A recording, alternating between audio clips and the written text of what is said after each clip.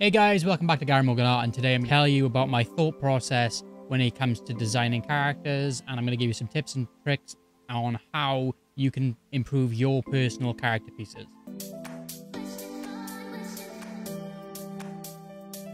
Okay, so this is the um, character, like almost a final character design. I will go it like further in this into the rendering. So I start off with establishing like a shadow side for this arm and in this case everything that's in shade will be on the left hand side of the character. So for instance now when i've started rendering in the breasts and the arm and like the clavicle area i'm making sure to take the shadow color off the face that i've pre-established in part one of this character design that's on the youtube channel. I'm just placing areas of shadow on the left hand side of everything. So if you take into consideration that you have to imagine these forms are like the primitive forms. So like spheres, cylinders, cones, cubes. And then when you have to de define which side the light will be on, after learning to render these types of forms, you will understand how to do this on a character design, no problem. It's the only thing after that is where you have to learn is like texturizing for different materials and so like metal, leather, hair, liquid. So like is there's a different learning curve after you've had to learn how to do skin and paint in forms. So you can do a black and white value study of a cube and you can understand how to how to light a cube and a cylinder and a sphere and a cone. However, taking that to make it look more realistic is where some people struggle. So I'm just going to jump back to what I'm doing right now. So I'm currently just like painting in some of the metal areas for the neck. So you can see that she's kind of wearing like a necklace and I'm trying to make sure that the metal has a lot of reflection and deep shadows because metal, um, which I will in future drag the levels down a little bit on just the metal, as you'll find that your values sometimes don't match quite how much dark value there is in silver and, and metals, etc., depending on how brushed it is. So that you'll learn how to do stuff like this just by doing lots of practice and studies of a particular type of material. So for instance, you just saw I was doing the fabric there. I used a soft brush and then I made sure to treat the fabric of the skirtish thing that she's got wearing as if it was a cylinder, but I used the soft brush to make it look more refined like silk. However, if you were going to do something different, like a, a cotton or a more like muslin like type of texture you wouldn't use a soft brush. And as you can see now, I'm kind of doing the leather of the boot that she's wearing. And personally, this is one of the one of the things I struggle with is leather. I it's easy to do brown leather, but in this case it's green, so I was struggling to try and find the right light to dark ratio using my shadow maps to make it look like leather. I think I did achieve it in the end, but what you got to take into consideration is that you should do a lot of studies of the material you're trying to paint and look at a lot of reference of artists' work that have leather in it. So, like, say you you like a particular character designer on the internet and they do leather. Pay close attention to how they place their lights and shadows to achieve a simplified version of a realistic material. That's where I've been trying to improve myself recently is just as little brushstrokes as possible to achieve a look, a first read from zoomed out. Because realistically, your character is probably only going to be about this small on a screen to somebody else, they, and they're not gonna they're not gonna know that if they zoom in, there's going to be like no detail. It doesn't have to look exactly picture perfect. As long as when you're zoomed out, it looks like a pair of leather trousers or a leather boot, nobody's going to know anyway.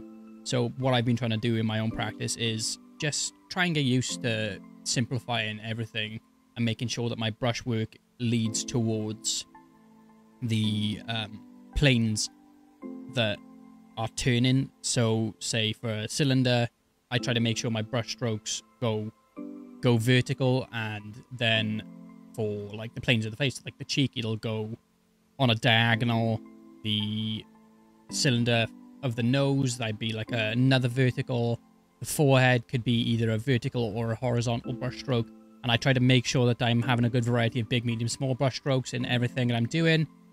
And I, I think the rendering process is... I think that's the more personal taste that you have that you don't even realize you have. I think the rendering is where your air quotation marks style comes in because there's a bunch of fundamentals that everybody has to learn and everybody has to know to be able to paint and render forms regardless of your particular area of expertise. To say you're into realism, stylized, or more cartoonish, you still need to know these basics. And where and how much you choose to render your piece is where your style really comes through, I think. So here you can see I'm kind of just adding in some dark and light side to cylinders for the metal. You can see on the top tube here for this piece. So like there's a almost like a lid to this bottle, kind of like a decanter or something. And I've just put a highlight side and a shadow side. As when you look at cylinders or anything that's like spherical in space, it has a, a highlight side and a shadow side.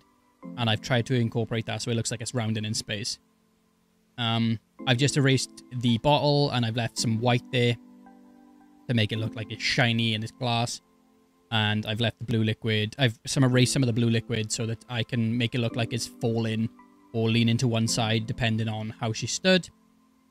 For here, I tend to just stick to the like a simple method of adding in a core shadow, just like you would for anything, and then a highlight side. So in this case, like I said, the, the light is coming from the top right, so the shadows should be on like the back left. It, it, so if you imagine the forms are turning on the hair, almost like a piece of ribbon, and then you put your shadow where the light wouldn't hit, and you put your light where the shadow wouldn't hit, in the turning of the ribbon, and then you kind of just use one brush stroke to do the shadow, and then you take a highlight color and you brush into that shadow color, and it'll kind of give you a nice transition gradient that kind of looks like a ripple, and that's kind of what I do for here.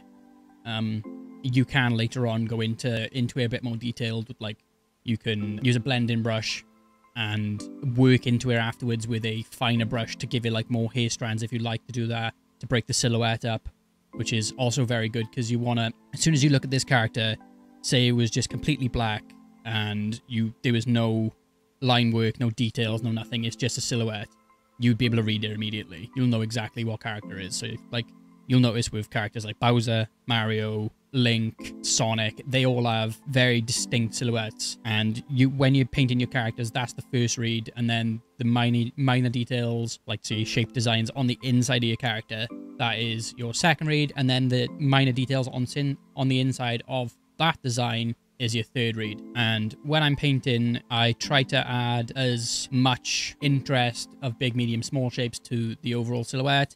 Then I go inwards and I add a big, medium, small variety of shapes. So in this case, I've tried to keep the motif of like this floral gem type of motif running throughout. So you can see that she's got a headdress that's kind of like a flower, but it's got a gem on it.